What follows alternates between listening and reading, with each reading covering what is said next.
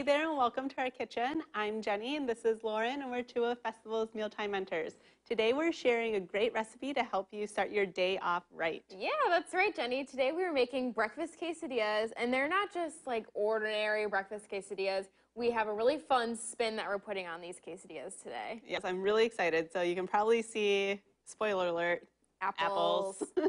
We're adding apples to our quesadillas, but they pair so nicely with some of the other fun ingredients that we're adding, and we think you're really gonna love them. Yeah, so let's start off with the base of our quesadilla. We've got eggs here, um, just six eggs, so really feeds a crowd. Um, I'm gonna go ahead and give these a quick whisk and then add in just a little bit of low-fat milk.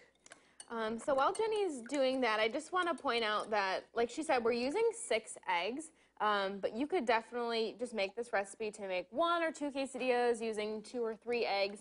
Um, but something that we like to do is use all six eggs, make the full recipe, and then any extra quesadillas that you have, you can actually freeze them.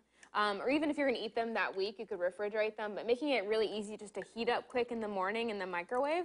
Um, so you can take them on the go or just eat them really quick at home um, before heading off to work or school or whatever it may be. Yeah, and who doesn't love a really easy grab-and-go breakfast? Yes, I think everybody does.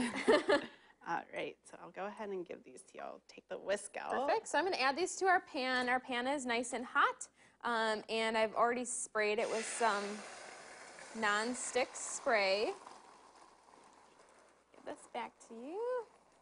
Um, so what we're looking for here is we're going to kind of let our eggs set. We're going to let them cook um, kind of on the outside as you can start to see. Um, and then all I'm going to do after they cook just a little bit more is I'm going to take the spatula and just kind of move them around. Um, we're not really scrambling them. Or they're more of um, like, Like an folded. Folded or like kind of egg patties almost. Yes, so they fit nicely into our quesadillas and stay in there and don't fall out Yeah.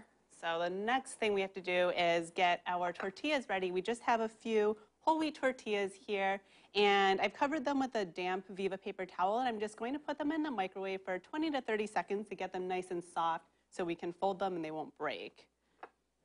And you could use whatever types of tortillas you'd like. Um, we recommend like a whole wheat one. There are lots of different varieties. Um, we're using an eight inch tortilla. Um, makes a really nice size um, breakfast. Um, you could use larger if you'd like a larger quesadilla. So I'm going to kind of start pushing our eggs around here.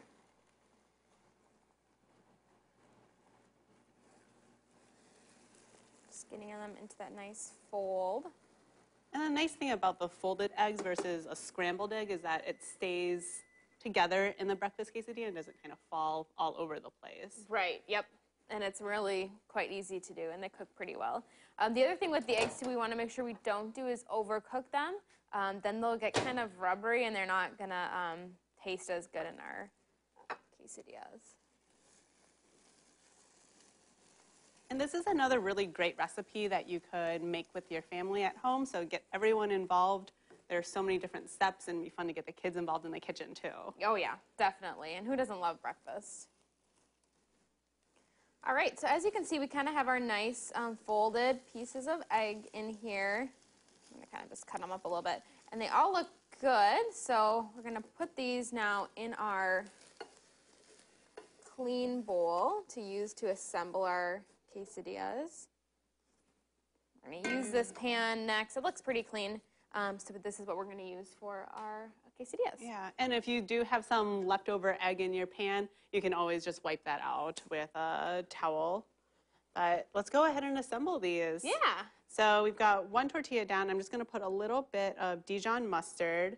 And like Lauren mentioned at the beginning, this is kind of another nice twist on the breakfast quesadilla. It has a really a lot of great flavor.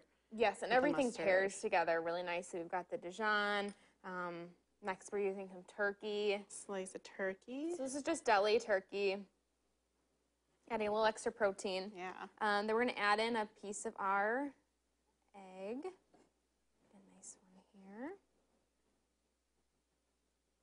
Perfect. And just a little bit of shredded cheese because who doesn't love cheese? Yes, and we're using cheddar, which again pairs really nicely with our um, apple slices that I'm going to add here. Thinly sliced.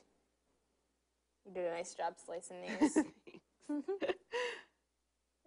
And then one la- last slice of turkey. And we'll go ahead and fold this over. And and back into the pan it goes. Yes. We Put this back in our skillet. And it'll take about four to five minutes each side to cook. We want the tortilla to be nice and brown and crispy, and also to make sure that cheese um, melts really well in the quesadilla. All right, so our quesadilla is nice and brown. Everything is nice and melted. So we're gonna pop it out of the pan. so Beautiful. Slice it up. Doesn't that look so good? It looks super good, and it cooked really quickly too. It did. And this is like the perfect portion, I feel like, for a really nice, filling breakfast. Um, but it's also really balanced. We've got lots of protein, we've got fruit in there with the apple. Yeah, and you can really do whatever you want with this. You could Yeah. do ham and Swiss. I bet would be really That would good. be so good. Keep that apple in there. Or, I mean, you really could add like a pear or another um, fruit in there as well. Yeah, lots of different variations. So really make it your own. Use whatever ingredients kind of float your boat. Exactly. All right, let's cut this up and give it a try. Yes. Looks Very nice and hot. So. Yeah, Ooh, this looks so good though. yum. Mm. I just love the apple in here. Yeah. It just adds such a fun, different twist to like a traditional breakfast. Definitely. The, the apple and the mustard are probably my two favorite Agreed. components. Agreed. Well, we hope you give this fun twist on breakfast a try. and for more recipes and resources from your mealtime mentors, visit festfoods.com.